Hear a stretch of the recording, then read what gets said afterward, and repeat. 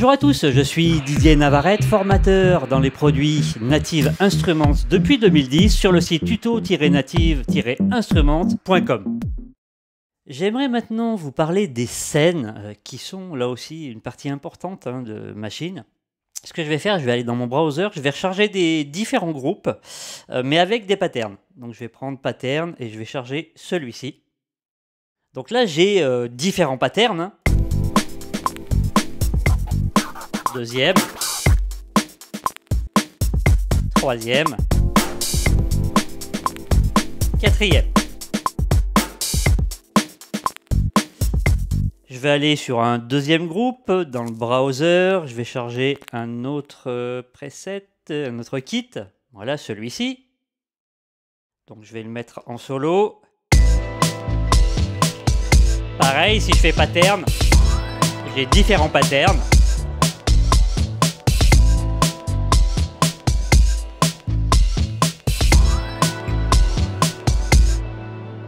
Troisième groupe, browser. Je vais charger encore un autre kit avec un autre pattern.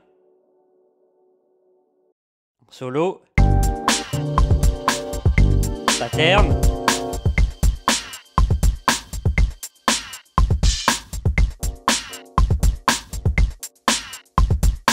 Et aller un dernier.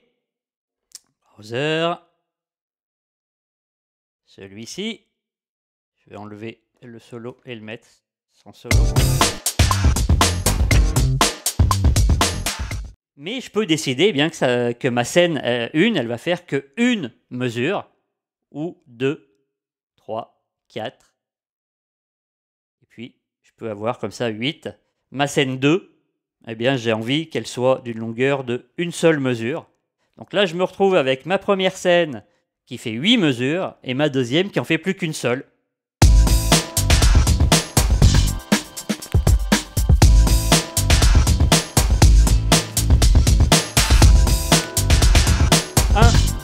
3, 4. Si je veux faire des changements beaucoup plus rapides, Shift Follow pour être en grid, et là je passe de une barre, eh bien on va dire aller à la croche, ici.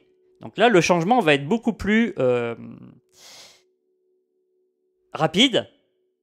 C'est-à-dire dès que je vais appuyer sur mes scènes, eh bien ça, va changer, enfin à au demi-temps près, parce que c'est en forme de croche. Dire, euh, eh bien dire ma scène 3, euh, je veux qu'il y ait tel ou tel pattern, ou euh, ma scène euh, 2, tel ou tel pattern. Voilà, je peux créer aussi un- une, euh, scène hein, en, juste en cliquant comme ceci. Donc là, je peux me créer plein de scènes. Voilà, et je pourrais dire, eh bien, celle-ci, je veux qu'il y ait ce pattern, et puis change de groupe, et je veux qu'il y ait ce pattern, et puis euh, je veux qu'il y ait celui-ci. Et là, je me constitue vraiment, vous voyez, une timeline, comme dans un séquenceur, où je passe sur différentes scènes.